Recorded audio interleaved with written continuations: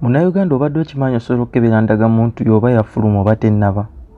Era onkuleetedde engeri yokkeberamu weeba gyeri ku nnira oba teriiyo? Kubanga abasinga mutambula ne mukozesa transport ne weesanga nga emirundi gyonna gy'otambudde teriiyo ku nnira. Ogenda ne bakubawunsinga back n'okomawo nga tolina ky'olina so leero nkuleetedde engeri yokkeberamu njagala ogoberere bulungi.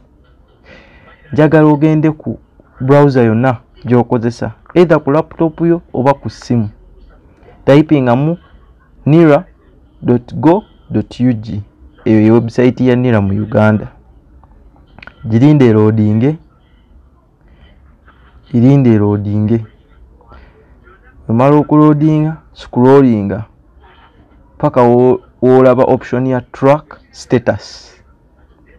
Naye kati teri ku front screen website ya nira nzibumu okukozesa bagikola nga teri user friendly so njagala ogoberere bulungi step by step.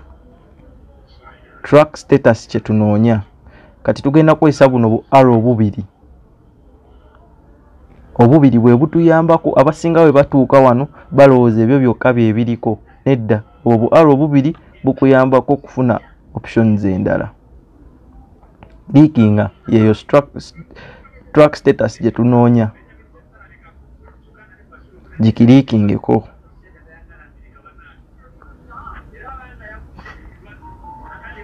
omala ogikiriikingako ogirinde eroodinge okuloodinga kijja sinziira ku netiwaaka gy'oyina. Oba oyina netiwaaka eri fast eroodinga mangu oba eyina erisiro eroodinga mpola.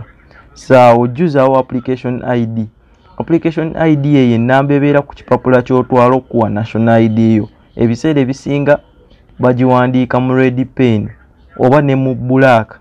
Ebeera ku top right corner wenna ayina ekipapula ekyo ebeera ku top right corner ojja girabawo application id seyange yafuluma kuliko card issued.